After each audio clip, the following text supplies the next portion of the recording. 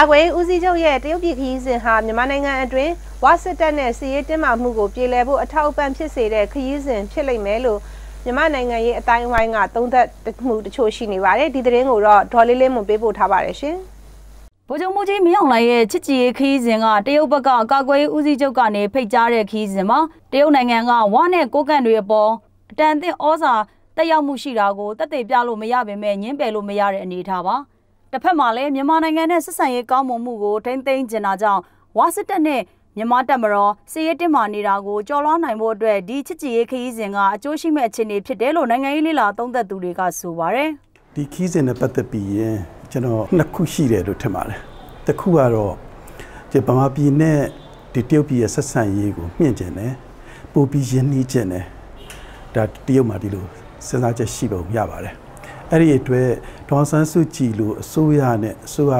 ချင်းဆက်ဆံရေးဆောင်ရွက်ပြီးတာဖြစ်တယ်လို့ကာဝေးရေးဦးစီးချုပ်ချင်းစစ်တပ်ချင်းဆက်ဆံရေးလည်းထူထောင်တယ်လို့ကျွန်တော်ဒီလိုထင်ပါတယ်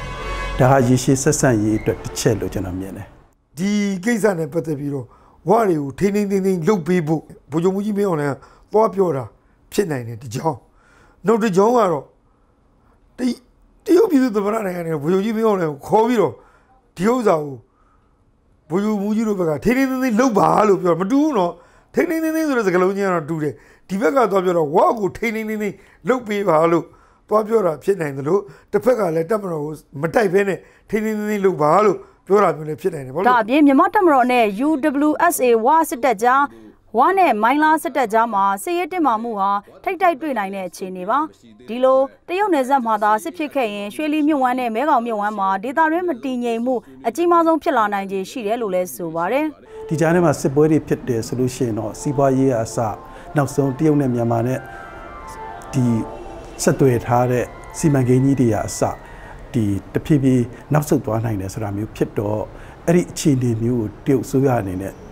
ဖြစ်ချင်ပုံမရဘူး လက်ရှိစစ်ဆိုင်နေတဲ့နေရာကတော့ဝပိုင်နဲ့မဟုတ်ဘဲမိုင်းလာအထူးဒေသလေးရှိတဲ့နေရာဖြစ်ပါတယ်တက်တိုင်းတက်မတော်တိုင်းတက်မတော်တိုင်းမှာတိတ်ခါဆိုတာရှိတယ်ဂုံဆိုတာရှိတယ်ဆိုတော့ရာဇသံပေးပြီးလို့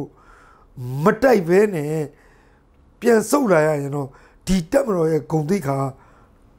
တော်တော်လေးပွန်းပယ်သွားသလိုတခြားသောလက်နဲ့ကင်ကြီးအပေါ်မှာတောင်မှအဲထိန်းကြောင်းလုပ်ခဲ့ရတဲ့နေရာမှာဒီဒီဂုံတိတ်ခါငါ ပုံးပယ်သွားနိုင်တယ်အတိုက်ပြန်ရင်လည်းခုနကပြောတဲ့ဒေတာနဲ့မတည်ငြိမ်မှုကြီးကြီးကြီးမားမားဖြစ်မှဖြစ်တဲ့အတွက်ကြောင့်ဒါကြောင့်တရုတ်အနေနဲ့မြန်မာနဲ့ဆက်သွယ်ထားတဲ့ကြောက်ဖြူကူမင်းအိန္ဒိယနဲ့တရုတ်ဆက်ဆက်လမ်းကြောင်းတွေပွင့်ဖို့တရုတ်ဩဇာမကင်းတဲ့ဝကိုမိမိနေရာမိမိပြန်ဖို့အကြံပြုတ်နိုင်ခဲ့ရင်ဝစစ်တပ်ကလည်းအခြေအနေကိုပြန်ထိမ့်သိမ့်နိုင်ွယ်ရှိတယ်လို့လည်းသုံးသပ်မှုတွေလည်းရှိပါတယ်ကျမလေးလေးမုံမ